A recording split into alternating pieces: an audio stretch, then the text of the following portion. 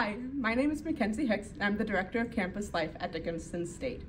On November 14th, the DSU Heritage Foundation will be hosting its third annual Give Day. Their goal is to raise $100,000 in 24 hours. I would like to challenge all young alumni to join me by donating to DSU based on your graduation year. I graduated in 2018, so I will be donating $20.18. You can stop by the DSU Heritage Foundation, call, or go online to make a gift. Together, Hawks make a difference.